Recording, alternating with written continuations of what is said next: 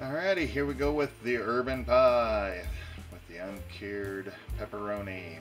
Thin artisan crust. It says no artificial colors, flavors, preservatives, and all that stuff. Pork raised without antibiotics. Well, sounds good. Hopefully it is good. It was on sale.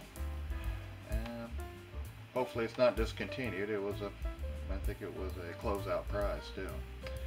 So, I'm going to give this a roll and see how good it is. Urban pie is decent or what?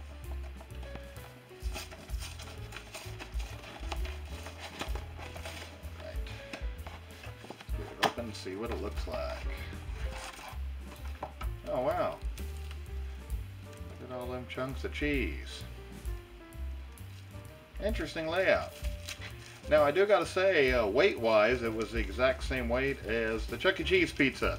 So, but it definitely does not look like the Chuck E. Cheese pizza. So let's get into this thing. If we can get into it without destroying it. Have some unusual seasoning. Some neat seasoning on it. Kind of like that. Get this laid out a little. Might have to start over on the pepperonis here though. Okay.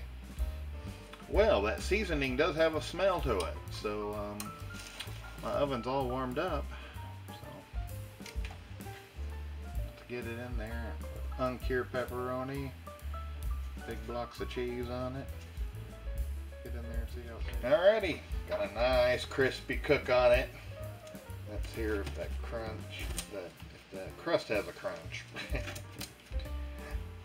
sounds like it.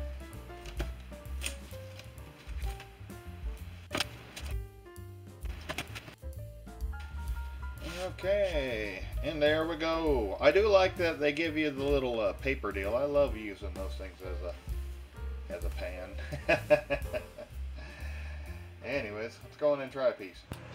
All right, folks, here we go with the urban pie. The uncured pepperoni and the rosa sauce. Pretty much a garlic tomato kind of base sauce, it says. Buttery. See if it is.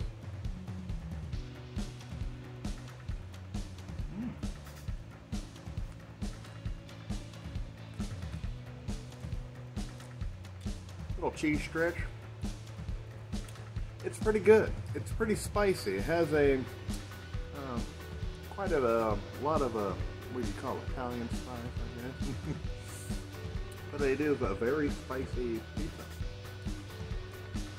And the sauce is different. It's not just a mango sauce. It is a different sauce. For the price I paid, not bad. Usual price, it's about $8.99. Um, I got this on sale for like $4. Get it on sale, give it a go. It's pretty good.